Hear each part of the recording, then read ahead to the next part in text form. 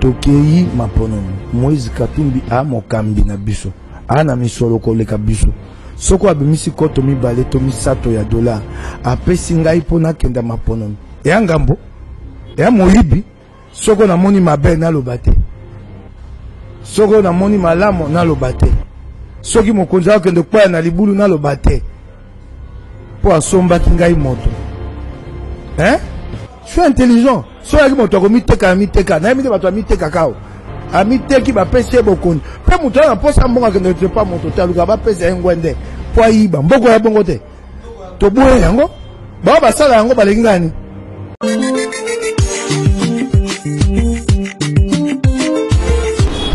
Salut fidèles téléspectateurs, euh, tous, euh, tous les abonnés des Info Congo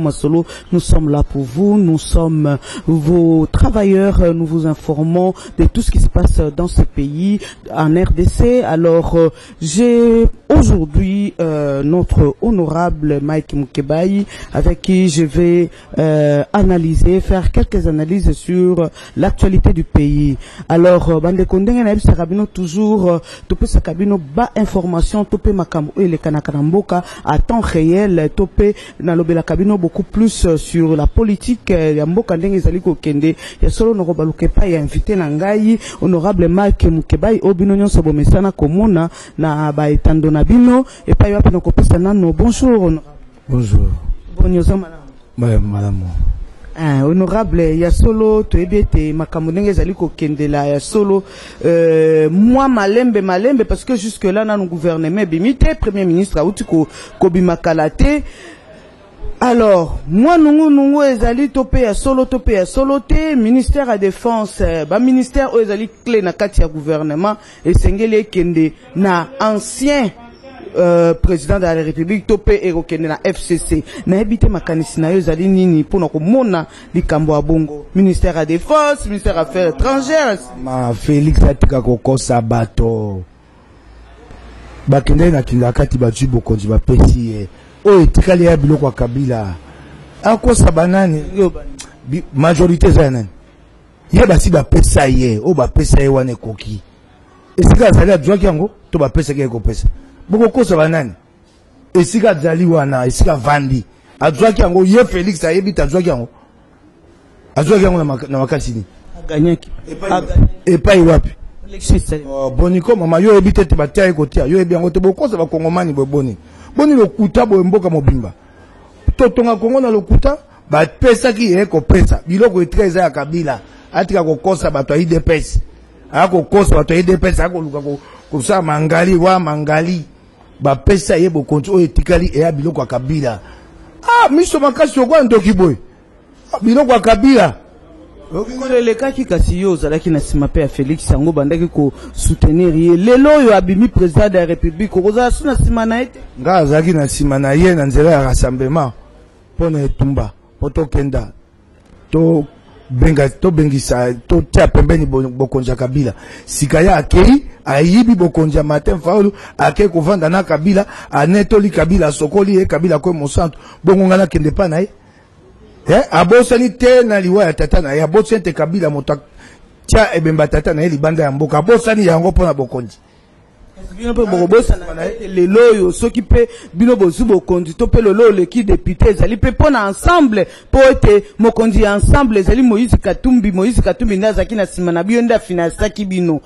ntuka wana eza likambo ya kobunga te biso nyonso toyebi yango ye nde moto azalaki kosoutenir bino bino nyonso bozalaki na nsima moïse katumbi moïse katumbi ye wana na nsima felix eh, felix tshisekedi alobi ya ko soutenir Felix Tshisekedi ebongo boni te ke bino bino nde bokolanda oyo azali lokola leader na bino te bino moto na moto akokende na ndenge mama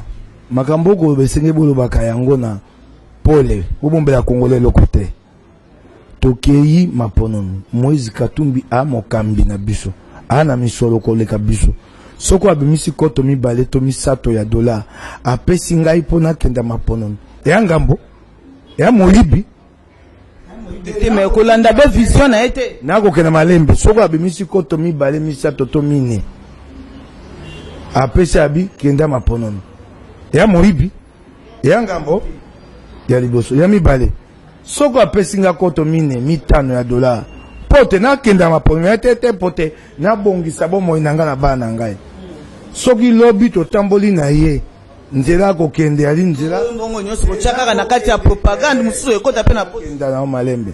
soki lobi totamboli na ye lokola apesaki ngai asalisi ya ngai mpo nakenda maponomi soko namoni mabe naloba te soko namoni malamu naloba te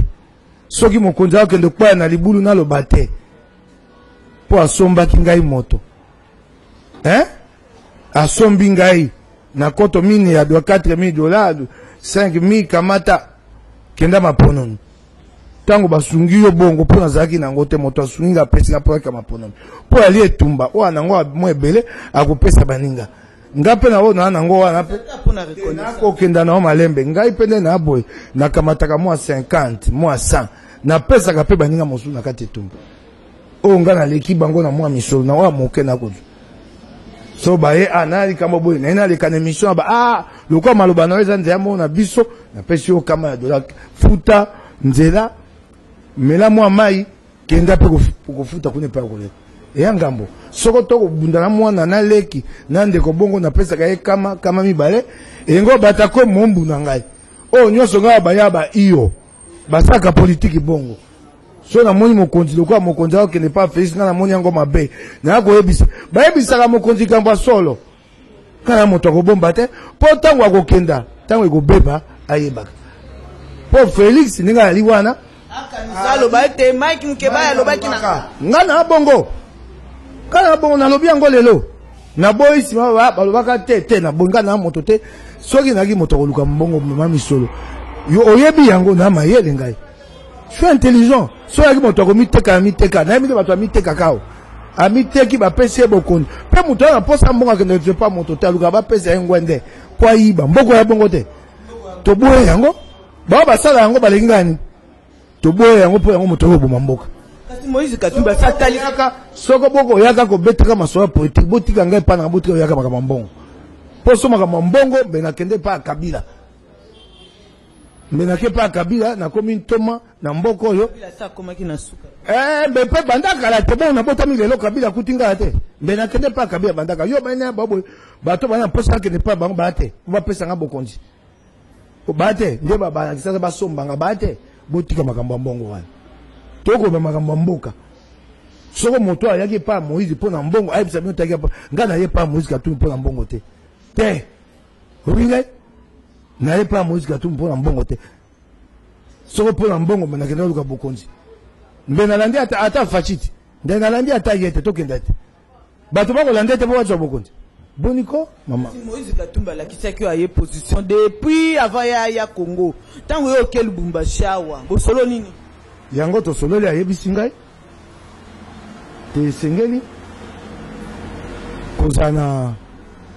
kolembisa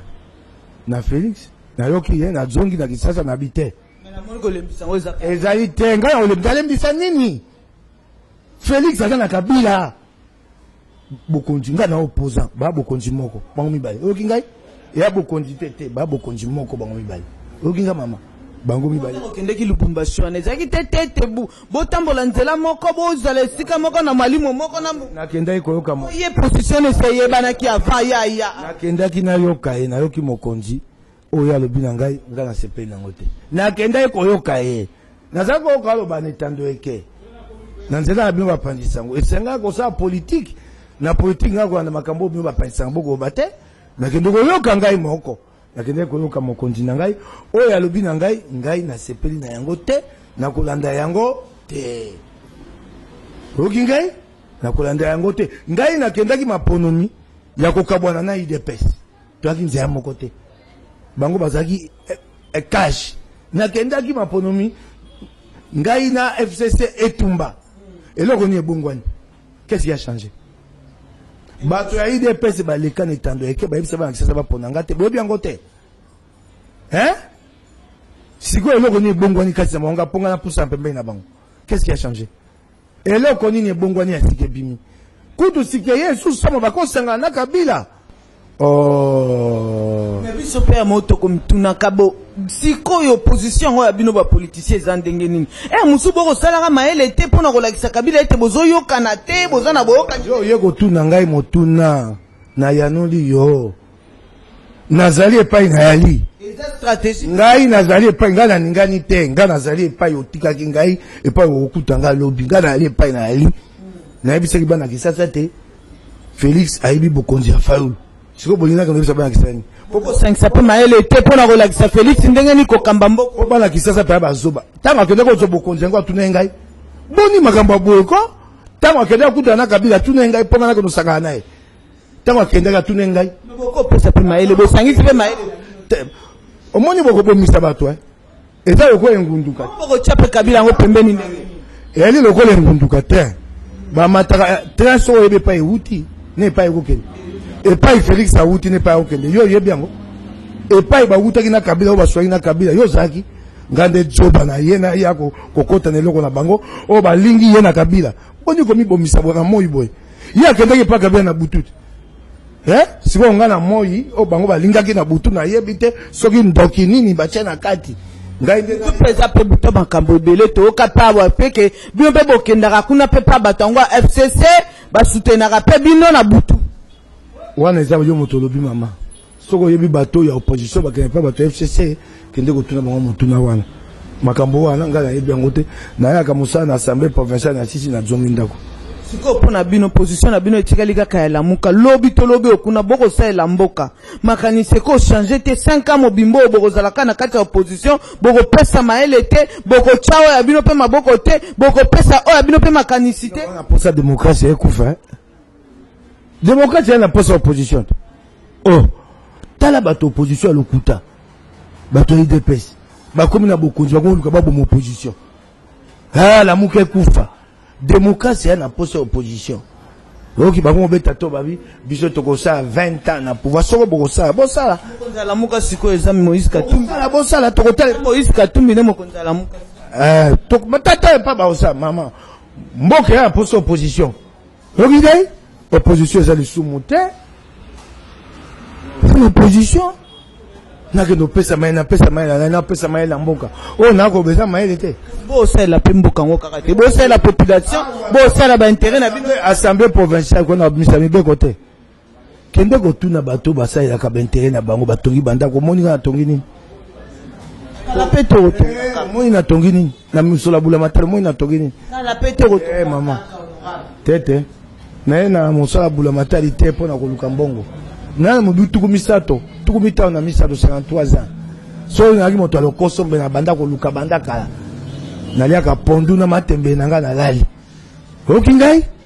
na moto ya lokoso te nabotami na libota ya, ba, ba, ya pasi mama na ngai atindi na kelasi na pasi na bandeko na ngai baa na mosala te eh. navandi kimia omoni ngai te naa koyimayima naa komitungisa mpo nakende otya bango epai ya moto nalukela te na moke nazwaka na kabala na bango D'accord ya solo po ete makambo malamu eumelaka te ezalaka be minute moke ya nakozongela kaka mpona koloba ete Moïse Katumbi pour le moment ye nde moto azali mokonzi ya Lamuka alors bino bato ya Lamuka lokola bolingi kotambola molimo moko na ye te tokoloba lokola boza na kati ya opposition na kati ya Lamuka olobi boni mama Ngai na opposition na kati ya lamuka. Nalobi na yo awa. Ngai nayebisaki bana Kisasa mpo eza lisano te eza ya solo te Felix ayebi bokonzi ya Fayulu. Sikoyo naya na balola yango yebisa ngai na kobalola yango boni boni tokozwa pepe lokola zoba boye Pourquoi nous ne respectons pas notre peuple que bino na fayulu boza mpe na korespecte oyo oh, azali mokonzi na bino te eh? mokonzi na bino eza moïse katumbi oyo oh, ye alobi yango bino bokolanda yo epai na biso etambola lokola na idps to na fcc so mokonzi alobi bato abi iyo etambolaka bongo bayebisaki yo lamuka eza ndenge wana moto soko alobi bato baloba te lamuka ezali liboke eyali peuple eyali mukebayi te ebongo soki fayulu achange mpe oyo aye atamboli na nsima félix tshisekedi bino boza wana bolesi ye ndoki oyo bosala boni bokobandela yango boye moto bayiba eloko na ye kasi baza mpe baninga ya kala te baza mpe baninga ya kala bakope akope kochange alobi lobi ko na ngai na kotravaille na ngai na félix bino sikoyo bokosuka makambo bokoya na yango ya babaninga na politike moninga alaka te na politiki ya likambo mboka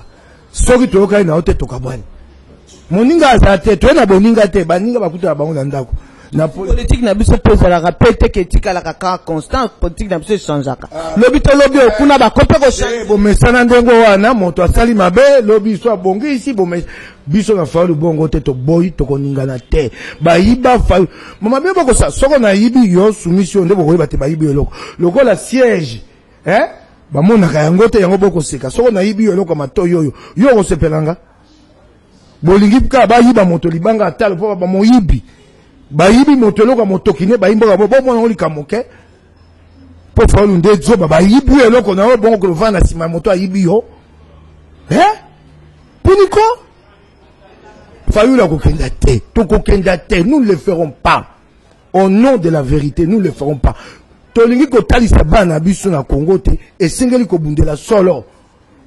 oyokiona mpe esika bino bokosalaka kuna na, eh, na, na, na, na, na, na parlement kuna esika bino bokosalaka na provincial bino kuna mpe bozali domine par bato ya fcc Bokotya maloba na bino ndenge nini ekondimama mpe ekozala respecter na moment oyo majorite ezali ya bango? Nayanolaki bango, Baza liboke koleka, bakolonga mbala nyonso, tokopona. Kasi naza na mayele etumba, nakobunda na bango na kati ya Assemblee provinciale, nakobunda bango na. Bakobunda ndenge nini? Bo boza bino mukie, bakosangela bino te. Tika sisa eyano, nasi nayanoli yo, ngai moko nandimi te baleki ebele. nakobundaka bango na assemblée provinciale nakobundaka bango na etando eke nakotemisa bana kisasa na balabala nakobunda na bango bakolonga nga te bana kisasa na balabala na ndenge nini batemisaka bato na balabala boni ngai na oposa nakobenga bango baya natemisa bango balabala ndeni mbuta moto etieni tshisika aza kotemisa bato na balabala ndeni nde na kotemisa bato fayolo awa akotemisa bato na balabala ndeni nde na kotemisa bato ndenge wana nakotemisa bato na balabala na biso bakolonga nga te tika lelo oyo tozali kolela père ya opposition ezali etienne tshisekedi nayebi te bino mpe bokozala kuna na matanga to lokola bozali euh, contre regime wana bokozala na pembeni makambo ya matanga ya lokola makambo ya boyambi eh? esengeli te boya kokotuna yango bato boye ondimaka nzambe to ondimaka ye te Eya makambo ya boyambi, moto na moto ayebi na se ya motema na ye. Botuna yango motuna te, nakoyanola te. Eya lokola kolela be na se ya motema. Eya lokola boyambi. Kokende matanga. Nalobi na yo, eya lokola makambo ya boyambi. Otuna moto te soki andimaka Nzambe to andimaka Nzambe te. Eya boyambi na ye na Nzambe na ye. Likambo ya matanga eya likambo ya pasi ya motema, eya likambo te ya kobetelaka tangwa. Bokomi kotambola na yango, okoya, okoya matanga te. Eyali likambo ya boyambi etali ngai. merci honorable merci honorable mike mukebayi tokosuka wana nayebi te soki okozala na liloba ya suka ya kobakisa na kati ya mwa analyse na biso touti kosala te bakongomani bozala boyambi bana kisasa mboko ekobongwana bolanda te bato baba bate mboko ekobonga te lokuta mboko oyo ekobongwana bato bakobongola mboko oyo bakokwea na mapata te bakobima na saa mai te bakobima na saa mabele te be biso na bino tokobongola mboko liloba na koyebisa bino be moko tobetaka su tolo te te kongo ya mboka monene totika yango totonga nde